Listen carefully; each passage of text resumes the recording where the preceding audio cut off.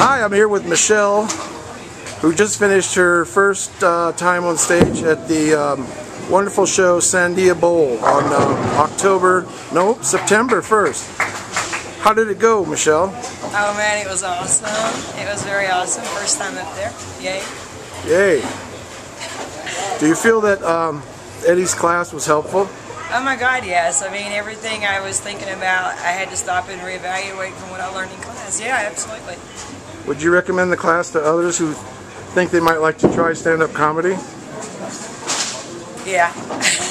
yeah, because I was terrified. And then when I got up there and when I, you know, you, you just really don't have time to freeze. And then Andy's class, when I was taking it, you know, they tell you how to work through all your obstacles and stuff, and so it was pretty cool. Yeah. Right, they teach you mic techniques and yes, yes. joke writing structure. Yes, and talk clearly. Yes. Awesome.